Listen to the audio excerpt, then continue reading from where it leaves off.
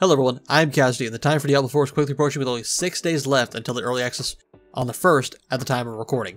So I'm here to help make sure you have everything in order so that we can be ready to play come June 1st for early access or launch day on the 5th. June 1st at 4pm is when the game is available for early access users, and June 5th, 4pm, PT, is when it is available for everyone else. Your first order of business is to listen to what I said again because I've been seeing people still wondering when they get access to the game. I'll throw it up on screen right now for you. June 1st at 4 p.m. Pacific time is when the game is available for early access users, and June 5th at 4 p.m. Uh, PT or Pacific time is when it's available for everyone else. For example, for me, that means the game will be able to play on June 1st at 6 p.m. due to time zone differences. And I think that's where a lot of people are getting confused, as well as some news outlets and articles showing the wrong dates. Rod Fergusson, the senior vice president for Diablo at Blizzard, also reinforced that statement saying it is those times. Real quick, on the 29th of May, there's going to be a KFC promotion that is going to begin.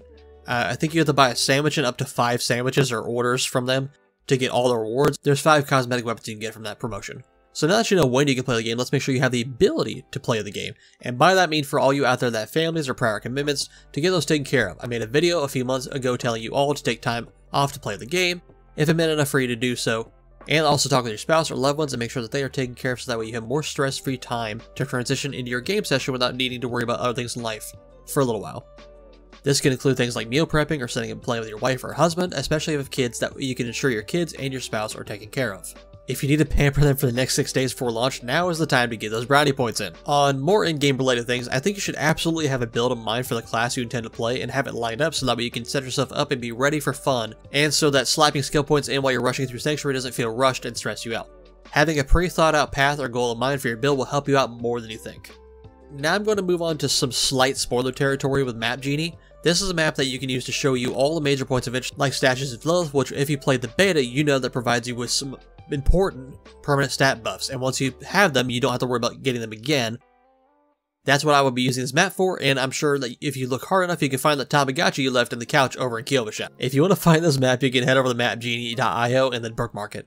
Next up, you want to be early, and I mean this because in every beta they've done so far, they've dropped the servers about 10 minutes before uh, the advertised start time, and you want to be early because many streamers and content creators like myself will be trying to get in, and any fans of them will pack in all that false hope to try and get in so they can play with them, or at best annoy them while they're watching them live, like Asmongold fans. I'll follow you and watch you and worship the ground you walk on.